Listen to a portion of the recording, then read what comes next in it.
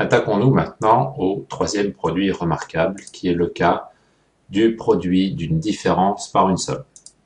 Donc, une différence multipliée par une somme. Là, je vais utiliser la double distributivité. Donc, A multiplié par A, ça donne A au carré. A multiplié par plus B, positif fois positif, positif, ça va donner plus AB.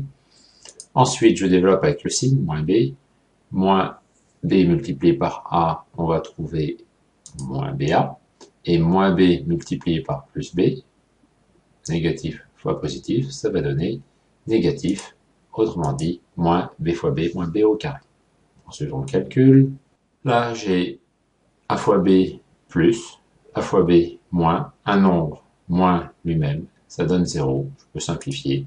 Il ne reste plus que donc a au carré moins b au carré. La formule est trouvée. On retiendra que pour tout nombre a et b, a moins b facteur de a plus b égale a carré moins b carré. C'est la seule formule des produits remarquables où il y a un signe négatif ou une soustraction devant un nombre carré. Ici, il n'y a pas de double produit. La formule est donc plus simple et j'attire votre attention sur le fait que les deux soustractions sont dans le même ordre. Là, j'ai A en premier, moins B. Ici, j'ai A au carré, moins B au carré.